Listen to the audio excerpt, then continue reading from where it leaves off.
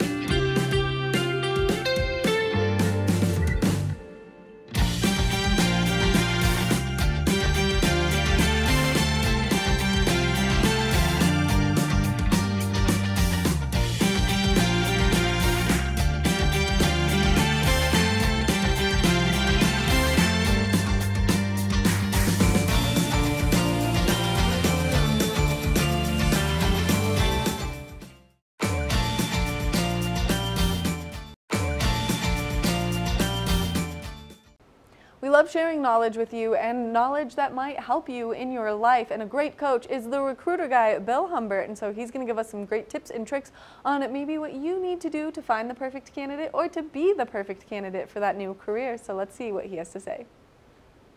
Are you in the market for a new job? Well, your biggest stunt factor could be your own resume, and we've got recruiter guy Bill Humbert here to talk us through on how you can improve your resume. Good morning, Bill. Good morning, Maddie. It's great to see you. It's so great to see you, and it's always so great to have some of your expert knowledge shared with us. So that way, if any of us are in the market for a new job, you're going to give us all the right tips and tricks to find that job that's going to fit with our lifestyle perfectly. That's correct. We're, we're going to rip into it. You know, what I've found is that many people fret over their resumes during their job search. And as a leading talent attraction consultant with over 40 years of experience, I have read over 400,000 resumes. And over those years, I've read the great, the good, and the truly terrible resumes. Now, it's important that people don't have that truly terrible resume. So, what are some of the things that people should make sure are in their resume? From a structure perspective, it's important to put your name and contact information at the top of the resume. Now, over the years, you can imagine, I've had several candidates not put their contact or even their name on the top of the resume, and I'm going, wow, this person has great experience, but I don't know who they are. So make sure your name and contact information right at the top, and I like to see them centered. And then followed by a four to five sentence summary of your experience with some metrics of the accomplishments that you've made. When you write a resume, drop the pronouns and begin sentences with action verbs and put them in the past tense, even your current job. And then write your responsibilities in a paragraph format and then bullet point your accomplishments. And again, it's best to have metrics because that demonstrates the impact. And then it finally put in your college education if you ha- have a college education. If not, if you have ex- uh, different certifications, put them at the end. Now, what are many of the mistakes that most people make as they're writing their resumes? Most people do not understand that they need to end up having one base resume and then having building another resume off of that functional first resume, that base resume, and tailor it to the wording in the job description. Otherwise, what will happen is the applicant tracking system will just throw you out. So put use the same words that the job description has to describe what it is that you're doing.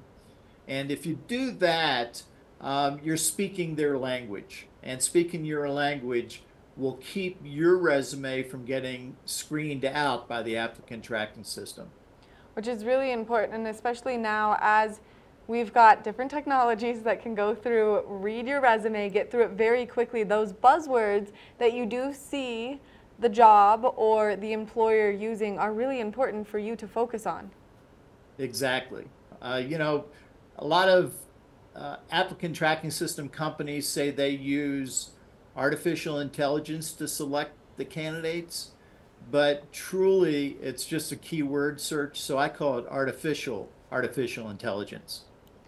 Which is just one step that you have to make it through to be able to get that job. Now you've got a great book out. It's called Expect Success. This book talks about why it's important to list your accomplishments. Now, why is it important that you give people your list of accomplishments as you're applying for a job? So accomplishments define you as a candidate. And unless you list your accomplishments, preferably with, with the metrics that demonstrate the impact, your, your accomplishments probably will not be included in the interview because the manager typically goes right down through your resume while they're interviewing you. And they're going to bring those accomplishments up. They're going to expand on them. They're going to talk about them a little bit. But if you're uncomfortable to bring those up in the interview, it's best that they're on your resume. Absolutely. You know, and it's, you know, you see some people that, well, I don't want to brag. Well, now's the time to brag. you know, brag now because that's how you're going to get the job. And all of these tips and tricks will help people find that perfect career for them because there are so many different tools to use out there. Now, if someone wants you to maybe help them build a resume, is that a service that you offer? I offer coaching, and so the job search mirrors, and I know people are going to love to hear this, the job search mirrors the sales process perfectly. And, um, you know, if you pick up Expect Success, the science of the over 50 career search, it doesn't matter your age, it's good for everybody. I just hit a niche. So pick that book up and it'll give you a lot of tips. But if you want actual coaching, just go to recruiterguy.com and above the fold, there's a red banner that says Speak with Bill. Pick a time that fits your calendar and uh, we'll have a conversation and you know you can decide whether you want my coaching or not. And if you had one final conclusion that you would like to bring to people's attention as we wrap up this interview, what is that piece? You know, accomplishments listed on your resume demonstrate your strength as a candidate. And that's what attracts people. Well, I was going to let that be the final question, but as people are going through and deciding what their accomplishments are and what they would like to list, how do they narrow it down to pick the best few for their resume? I'll just go to the job description and see what the job description says that, that they require. Um, that's one way. The second way, if you've networked your way in, talk to the person who introduced you to the manager and say, you know, what do you think that manager's major issues are that I may be able to help? And boy, that, that way you can just dial right in to exactly what they need. Bill, you always have the best advice for people who are either searching for the perfect candidate or people who are the perfect candidate searching for the perfect job. Thank you so much for taking the time to chat with us and giving us all this great information. Thank you, Maddie. It was great chatting with you. Make sure that you go to recruiterguy.com. That way you can get some time with Bill, you can pick his brain, and you can get even more of his knowledge because he is a fantastic coach. We're going to take a short break, and when we come back, we've got more of the show.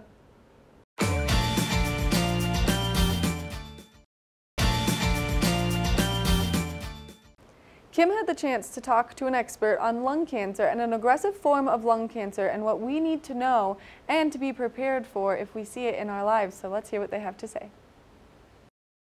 Now, we are in the summer months and there may be a rise in the use of vaping products and a decline in the use of tobacco, but lung cancer is a very important discussion to be had and I don't think we have enough of it. Joining me today is Dr. Paul Burton, the Senior Vice President and Chief Medical Officer of Amgen to talk more about this disease and how we can be better prepared and aware of it. Dr.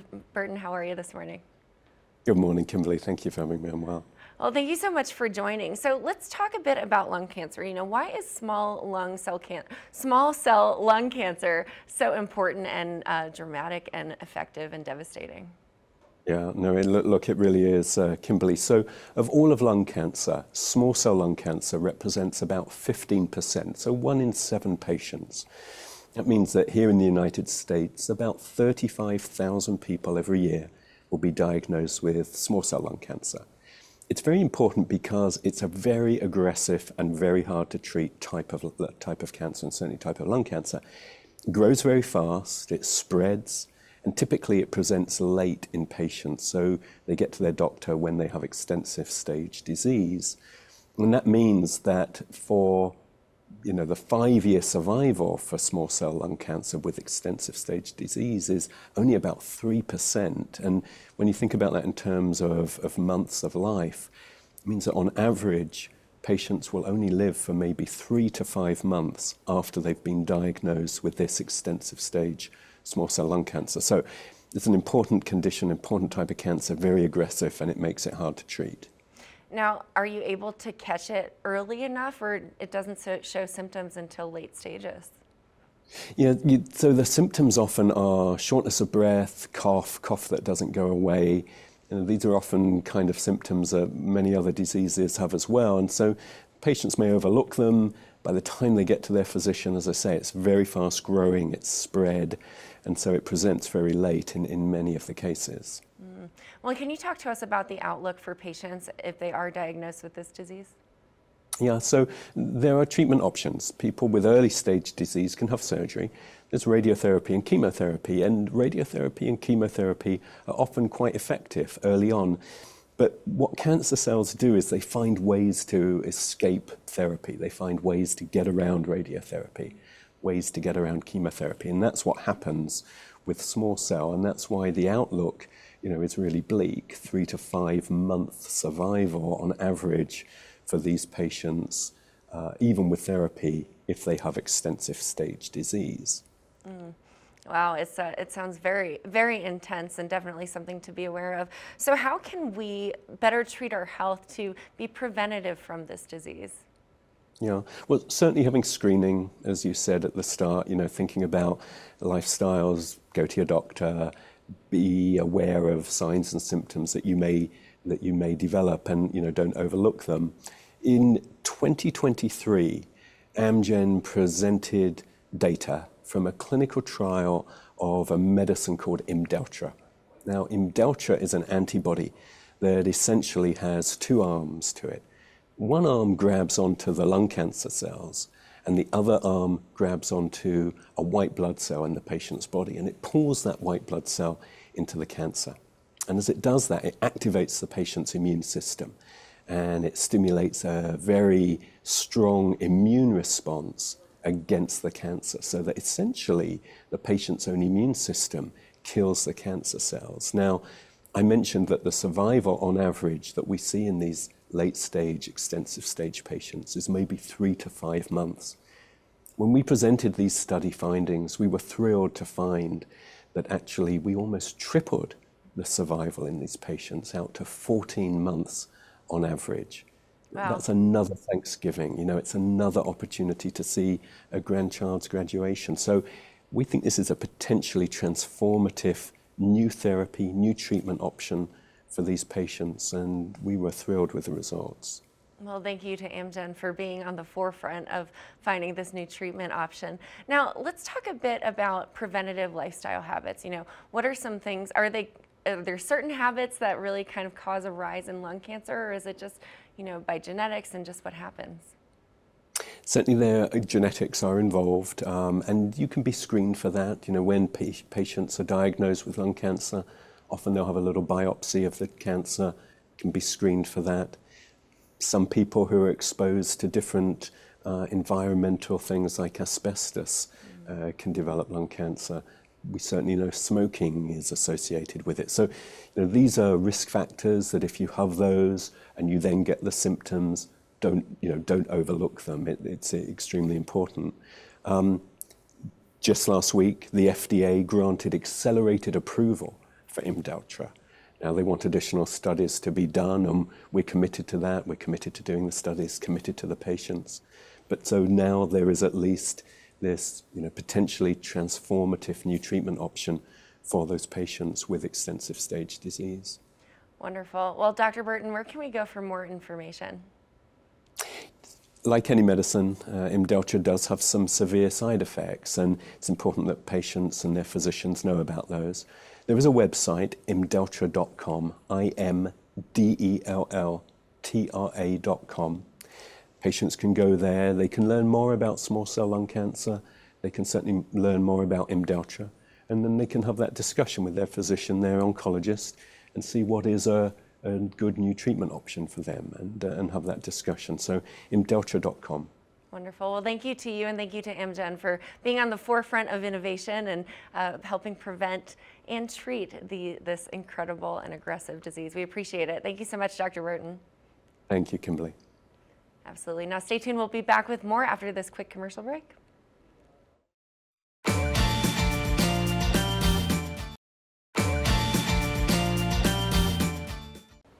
I had the chance to chat with an incredible chef on how to make the perfect ribbon scrambled eggs. And I didn't know how to do it or even what it looked like. And so we're going to introduce you to this technique.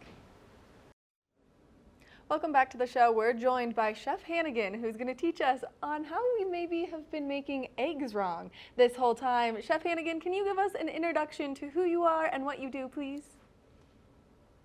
Yeah, good morning. Um, I'm the culinary director of, of Two Hands Restaurants, um, and we are going to be making our seasonal scrambled egg today, um, which is a spring variation of our, our menu item. Which a lot of people don't know that they could be making scrambled eggs wrong, and there's a step that we're missing in doing so. Can you give us some more information on that step? Yes, yeah, there is. There's a few key aspects when you know any menu item at Two Hands, particularly our seasonal scrambled eggs. Um, really high quality ingredients, pasture raised eggs in in this reference. Um, a really good quality non-stick pan, and a lot of patience. Now you've perfected the technique of making a soft ribbon scrambled eggs. I don't know what a soft ribbon scrambled egg is, so can you give us some more information on that? Yeah, absolutely. So soft ribbon scrambled eggs is quintessentially an Australian style of, of cooking scrambled eggs. Um, within the Two Hands restaurants, these dishes, you know, we change them out seasonally. They come together very quickly.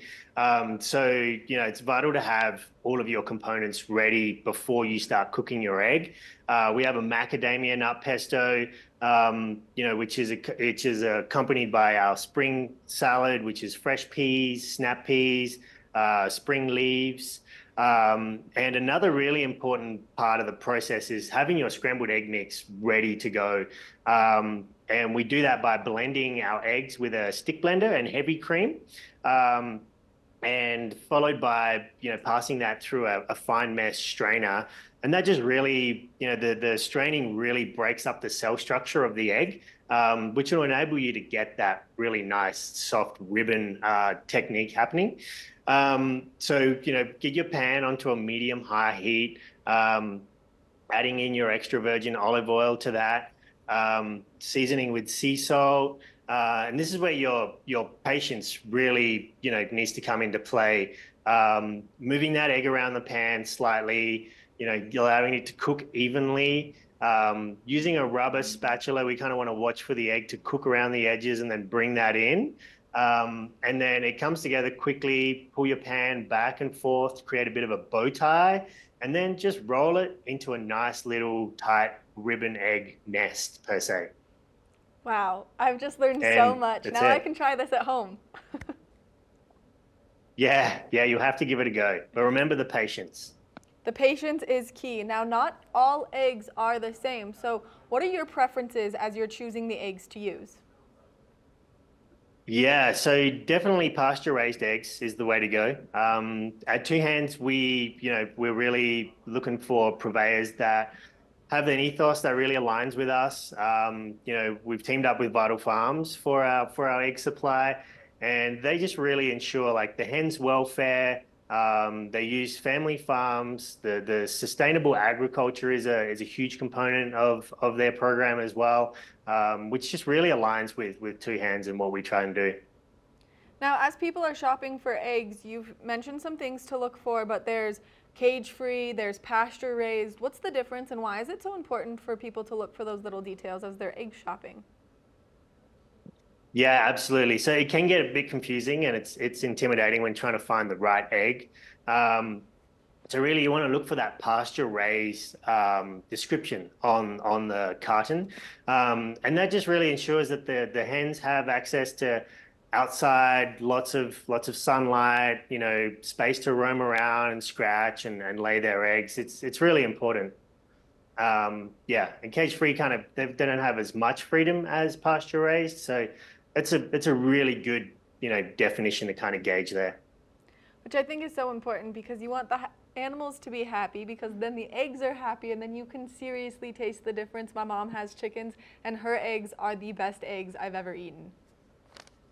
I bet, absolutely, yeah, yeah. Now, if people are interested in learning this recipe that you have shared with us, where can they go to get that? Yeah, so you can get this recipe off the Vital Farms website. Um, it's going to be on their Vital Kitchen blog. And this dish is in all the Two Hands restaurants throughout spring and summer. Um, so stop by and, and try it out. Chef Hannigan, thank you so much for taking the time to chat with us and giving us all this great information and inspiring me to maybe try to cook something new at home. Absolutely. Expiring. Expiring you. Yeah, there. I love a good pun. Thank you for that too. No worries. Make sure. Thanks so much. Yes, of course. Make sure that you check out this recipe online. This is something that you can easily make at home and maybe elevate the dishes that you're making for your family. We're going to take a short break, and when we come back, we've got more of the show, so stay tuned.